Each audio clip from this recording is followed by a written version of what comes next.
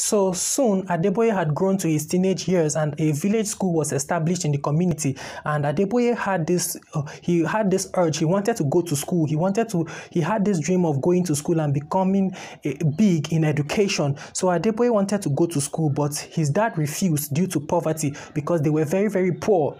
His background was a very, very humble one. They were very, very poor that even the poor called them poor. So Adeboye refused to eat because his father didn't have money to take him to school school, the mother begged the father that I'm going to support you, but the father said it's not just possible. So Adeboye refused to eat for many days. So the father was like, "What is the problem? Why are you not eating?" So if you if Adeboye told him that he really wants to go to school, so when he told him that he really wants to go to school, the father granted his wish and then allowed him to go to school. So he was taken to school, and when he was taken to school, his teacher in school discovered that he was gifted in arithmetics, which is now known as mathematics. He was gifted in mathematics, so um, he had to he had to go to school, suffer sell firewood and do all sorts of menial job and was even stung by bees and had so many challenges he had to work in order to pay for his education. So in 1941, moving back to Pa Akindayomi's story, in 1941, Akindayomi and his wife moved to Lagos and started their marital life. God used them mightily, especially in the area of barren women. They were in the Cherubim and Seraphim church, but God used them especially in the area of barren women in the sense that they prayed for many barren women and those women um, conceived, but they had no child. They suffered childlessness for so many years, and even the baby, the, the, the, the wife, Esther, later conceived of, died after 30 days, but their faith was not shaken. So in 1952, um, Pa Akindayomi was instructed by God to leave the Cherubim and Seraphim Church and start his own uh, fellowship known as the Ogo Society in Ebutemeta, Lagos. So God appeared to him and told him to uh, when he started Ogo Oluwa Society, one day when he was praying, God appeared to him in a vision and told him to look at the wall. And then when he looked at the wall, God now gave him the name Redeemed Christian Church of God. And that was how the name came up. So when he woke up from that trance, he told a, a brother who was a church brother, a close brother in the, in the fellowship, Ogo Oluwa fellowship with him, he told the brother, and the brother was shocked that how did God tell you this in English and you cannot even speak English and you are able to remember the words as you are awake and you are you are able to remember. Let's not forget that Pa Akindayomi was a was an illiterate. He couldn't speak English. So Pa Akindayomi shared the vision with this brother, told him the instructions God gave him about the church, that the church should not merge with any foreign or overseas church because it will go around the world on its own, that they shouldn't copy any other church in area of fundraising, and that if they obey all these instructions, God will bless the church and that sin must not be allowed in the church uh, because God, when Jesus comes back in his second coming, he's coming to meet with the Redeemed Christian Church of God. These are the instructions God gave Pa Akindayomi that he was relating to this fellow close brother. So Adeboye married Foluke, who is now Pastor Mrs. Folu Adeboye at uh, married married Pastor Mrs. Foluke, and then um, at 30, Pastor E. Adeboye had built his house and he has got his PhD, and he wanted to. He had this vision of becoming the youngest vice chancellor in Africa. That was his vision. So in those days, the beliefs of native doctors were rampant in, in campuses where they lived. The beliefs of native doctors were so rampant. So his fellow lecturer friend, played by Said Balogun, took him, took um, Pastor E.A. Adeboye in the movie to um, uh, a native doctor for protection. According to him, this friend of his told him that he's young, he's promising, a lot of people are after him, a lot of enemies are after him, so he needs protection. So he took him to a particular particular native doctor who told them to bring goats, to bring a goat for a sacrifice. So Pastor E. Went back and told him that uh, told his friend, played by Said Balogun, that he would not do this.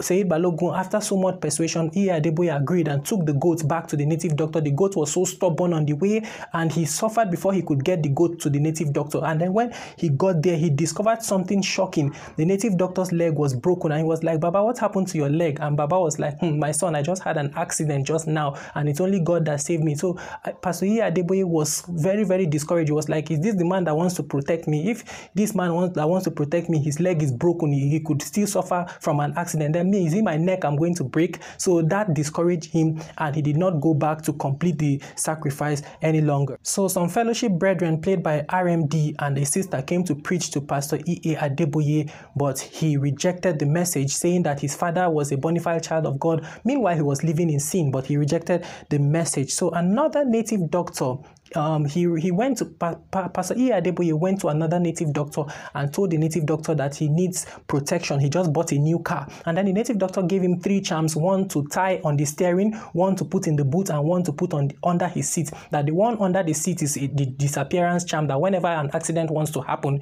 he was going to disappear immediately. And then when Pastor E. Adeboye, when E. Adeboye Enoch went with his went and put the charm and placed it in the strategic places where this native doctor told him to place them, he discovered that in one week alone he had three accidents. So that discouraged him, and he knew that this native doctor thing is not just working.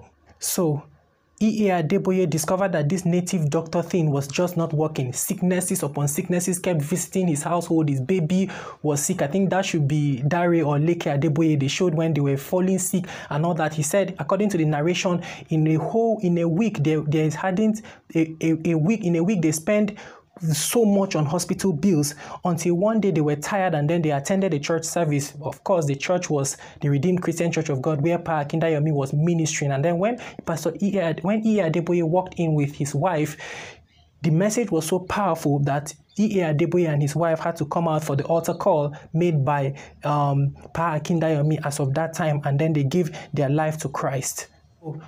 E.A. Adeboye and Folu Adeboye gave their life to Christ and began to become gradually serious with the things of God. And then one day, Pa Akindayomi was preaching a message, and then within the message, he said, in the message, he said, God has instructed him to tell the members that all of them working, whether self-employed or those working for the government, should go to the bank and withdraw all that is inside and bring to the work of bring to the church. That God wants to use that to expand His work. And then Pastor E.A. Adeboye and his wife reluctantly raised up their hand, and they were trying to bring it down when Pa Akindayomi and encourage them to raise up their hand that God wants to use them. And then I think they went and withdrew the money and then they came and gave it in the altar of God. And then so Pa Akindayomi instructed, as of then, um, Enoch Adejare Adeboye has started showing interest in doing the work of God. So Pa Akindayomi told him to escort him to Oshogbo that one of the branches or one of the parishes had issues. The pastor is giving the members and the members and the pastor enough, the members and the, the pastor and the ministers are having some rifts. So let them go and see how the church is doing. So the next day came and then Pa Akindayomi and Pastor E.A. Adeboye went to this parish when they arrived this parish, the pastor of that the parish played by Segun Arinze was so arrogant. He was so arrogant. He talked to Pa Akindayomi anyhow that Akindayomi wants to overthrow him. The church would have been nothing without him.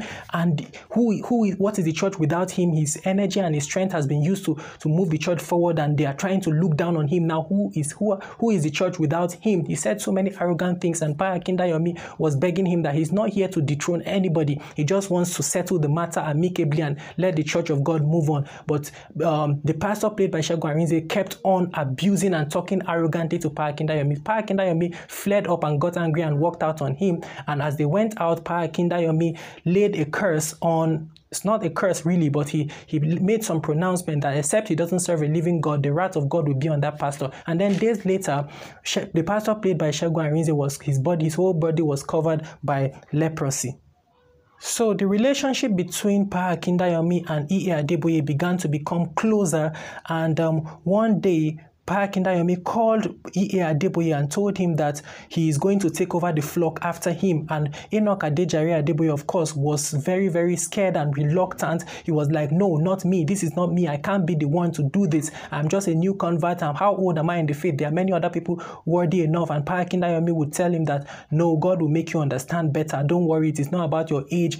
It is who God wants to use. And that is what God told me. And then Pa, pa called some key members, some elders of the church as of that time and told them that God told him when he traveled to Jerusalem at the Mount of Transfiguration that Pastor E. Adeboye was the one that was going to um, succeed him as the general overseer of the Redeemed Christian Church of God. There was a lot of protest. They said he was too young. He, he could he was too arrogant. Pastor E. Adeboye is too arrogant. A lot of elders protested that when did he join the ministry? It's over their dead body. It's not possible that he's going to come and take over over their dead body. They protested and said so many things that E. Adeboye is too arrogant some someone one of them even asked, "Is it because he is so educated?" So there were there was a lot of protest and jealousy. So of course, Pa Akindayomi passed on and then he had already left his message behind, so they couldn't do otherwise. And then elders were still protesting and saying all sorts of things that Pastor E.A. Adeboye isn't worthy for the position, but he had already said it. Pa Akindayomi had already said it, so they had no other option than to crown him um, the general overseer or to make him the general overseer of the Redeemed Christian Church of God, although some of the elders as at that time supported the move. So the ministry began from there, and then um, Pastor E.A. Adeboye was dodging. I think there was a woman that partic- a particular woman that came to the church for prayers. Her son died, so she came to the church that, that she was looking for Pastor E.A. Adeboye to lay hands on on on her on her child that had died. So she didn't meet him. Unfortunately, he had traveled abroad for a program. Is he abroad or a, to a part of Nigeria? He had traveled, and then she met his workers in the church, and then the worker said, "Oh, he's not around. He has traveled." Then she was disappointed. So when she left, when Pastor Adeboye came back, the workers told him that there was a woman that was here to look for you. She wanted you to pay pray for her child that died. Pastor E.A. Adeboye was like, wow, me, I should pray. She wants me to lay my hand on her dead child. For what purpose? And then Pastor E.A. Adeboye from there started yearning for power. And then he started yearning for power for the Holy Spirit to use him. And then his yearning for power made him to go on fasting and prayer. And then during that fasting and prayer, God told him something that um, has he not received the power through baptism already? Has he not received the Holy Ghost through baptism? He said, yes, I have received the Holy, Holy Ghost. So the Holy Ghost told him there and then in that fasting and prayer to believe his word that says um, that uh, in, in his name shall he cast out demons, in God's name shall he cast out demons, and he shall tread upon serpents and scorpions and all that. And then Pastor E.A. Adeboye should believe and begin to use it. And then Pastor E.A. Adeboye believed it and began to use the word of God. And then the next woman that came to pray, the next woman that came with a dead child, Pastor E.A. Adeboye laid hands on the dead child, and then the dead child came back to life. So this time around, Pastor E.A. Adeboye prayed and the dead, dead child came back to life. This particular miracle was the beginning of signs and wonders in the life of Pastor E.A. Adeboye. From then on, signs and wonders started happening through Pastor E.A. Adeboye. And then one day, Pastor E.A. Adeboye went to the beach to take a walk and also pray while he was while he was in the beach and was walking, God called him immediately, and then he stopped and bent down, and he stopped. God told him to bend down, and then when he bent down, God told him to draw the the, the, the, picture of a man, and then when he drew the picture of a man, God told him to clean it up, and then he cleaned it up. God now told him that, do you see the man and the, and the way you cleaned it off, and the way you clean your drawing off? The day you forget that I'm the one that is performing these signs and wonders through you, that is how I'm going to wipe you off on the surface of this earth, and nobody will ever know that someone like Adeboye ever existed. So this was a very significant word from the Holy Spirit to him, and it, that is why he, uh, according to the, the, the the film, that is why till date, Pastor E.A. Adeboye never forgets to reference and acknowledge God in any time he performs any signs and wonders through the Holy Spirit. So um, that now led to the Lekki 98 that over 6 million people gathered at Lekki in, in Lagos for the Holy Ghost Festival. And from then on um, the Holy Ghost uh, service continued